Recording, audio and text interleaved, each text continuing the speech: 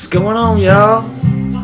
Just check it out all that GPK's little video he did about uh, 19A. So I went and got my curiosity struck. So I went and checked out all of my 19As that I had.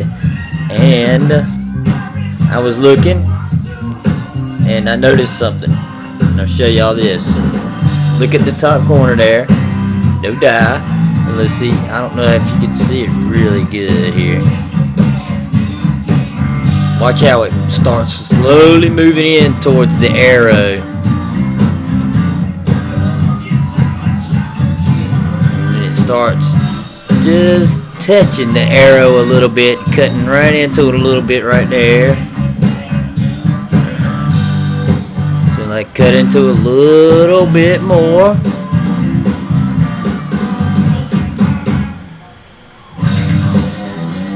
A little more. Getting on deeper into it now. And a little bit deeper still. Well, I just figured I'd show that to y'all. It was interesting to me. Later.